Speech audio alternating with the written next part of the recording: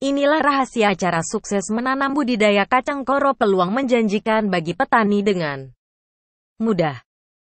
Kacang koro adalah salah satu jenis tanaman polong-polongan yang bisa digunakan sebagai pengganti. Kacang kedelai yang memiliki banyak gizi seperti karbohidrat dan juga serat.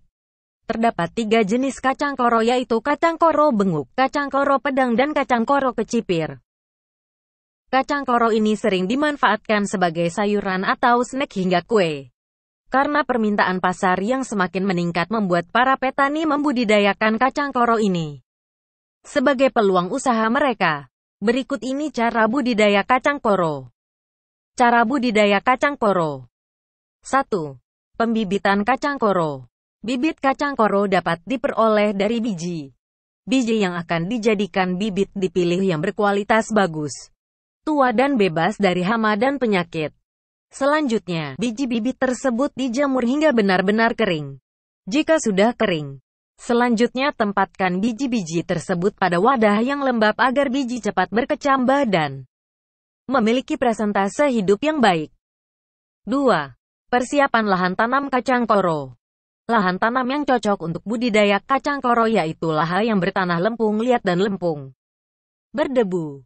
Lahan yang akan digunakan untuk budidaya kacang koro ini dibersihkan dari gulma atau tanaman pengganggu lainnya.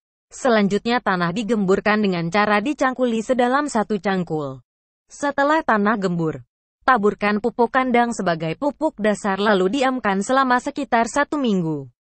Setelah itu, buatlah lubang tanam dengan jarak antar baris sekitar 60 cm dan antar lubang tanam sekitar 30 cm. Selain itu, siapkan pula lanjaran yang bisa dibuat dari bambu dengan ketinggian sekitar 2 meter.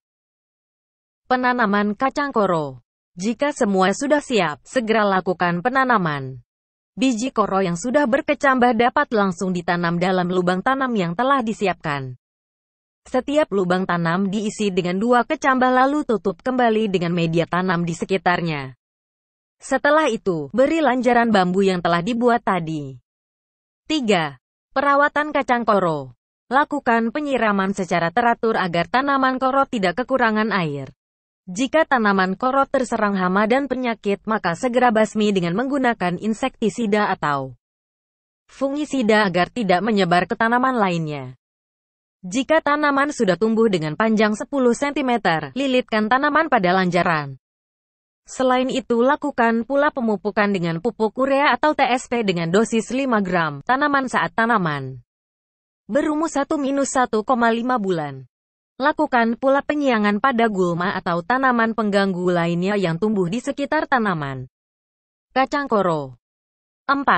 Masa panen kacang koro Pemanenan kacang koro dapat dilakukan setelah tanaman berumur sekitar 3-3,5 bulan atau saat buah masih berwarna hijau pupus dan telah berisi.